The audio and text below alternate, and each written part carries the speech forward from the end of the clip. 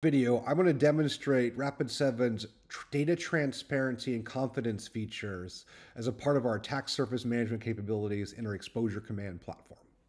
And so what we're going to do immediately is we're going to jump in to our attack surface management capability. It's going to show us an entire inventory of all the assets that and data that we're pulling in. Before I do that, though, I want to show you the dashboards, kind of give you some data clarity into what's going on. So we're pulling in 226,000 raw asset records from a variety of different systems. This is your IT asset management system, your security tools, your vulnerability scanners, your endpoints, et cetera, et cetera, as well as ServiceNow and other business applications. And we got 226,000 raw asset events. Now, our attack surface capability will actually correlate and deduplicate those down to what it believes is the right number of assets in your environment.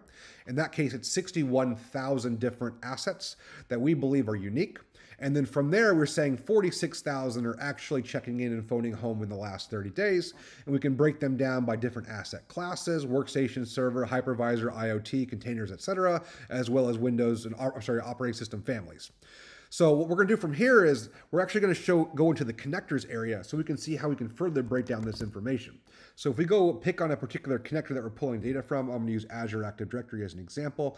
I can actually see all the different data that we're pulling in. We're pulling in application data, security uh, scores, and devices, and so on and so forth. We're going to click on the devices because it has a lot of different pieces that we're pulling in and we actually get a correlation score. One is a perfect score. So we're actually correlating decently well with a lot of other tools, but not perfectly. We also get completeness of the API information that we're pulling in. It'll actually tell you how much of the data is being populated for each field every time we actually pull in asset data, which is a very valuable feature for debugging and troubleshooting your data. So if we go on the right-hand side, we can see that there's 32,000 assets that are correlated across three data sources, InsightIDR, Azure, and InsightVM. However, we have a bucket of InsightVM applications that are not correlating with these other two sources. So that's 14,000 that are not. Perhaps you have different deployments. Maybe these are not assets that are in the cloud that Azure is seeing, but we're giving that visibility to tell you, hey, you're not being seen across, they're not correlating well with all your data sources. And you can continue to expand out the number of data sources that you want to get visibility into to show your true correlation, giving you better trust and confidence in the data. The last thing that I want to show as a part of these features is we're actually going to pick on a machine we're going to go to this HubSpot machine. It's one of our production servers. It's got a lot of data sources. We see the source the truth about this machine from ServiceNow, from in, InsightVM, Intune, Defender, so on and so forth. A lot of different data sources. But we can actually dive in and see all the correlation information that we have about this data as well. And so in this case, we go to the general tab. We can see the full correlation, not just individual data source correlation. This will tell us where we got the MAC addresses or where we got conflicts between different uh, data sources on significant pieces of data. That allows us to troubleshoot and also see what decisions were made for the correlation, again, giving you more trust and confidence in the data. The last thing that I want to show before I sign off here for you guys that I'm really excited about is our ability to show you a transparent data model that is easily configurable and tunable for your environment.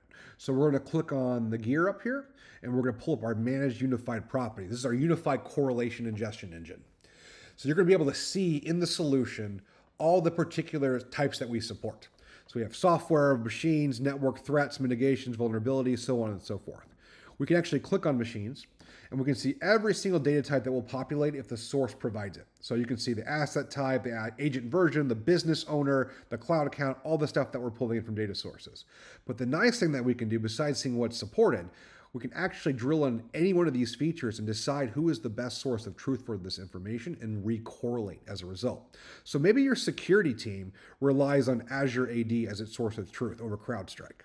So you can drag that to the top and hit apply, and it will recorrelate all the devices, all the machines around this business user property to give you the source of truth from Azure. And if Azure doesn't have it, it's the next one in the list and it goes down in order. So you get the best information based on the way that your security IT team see your environment.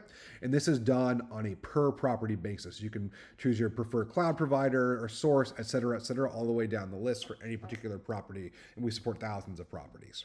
So, highly configurable, tunable system that gives you great transparency into your attack surface with the correlation logic and reasoning why. So, you can trust this tool and uh, make the best uh, visibility of your attack surface possible. Thank you.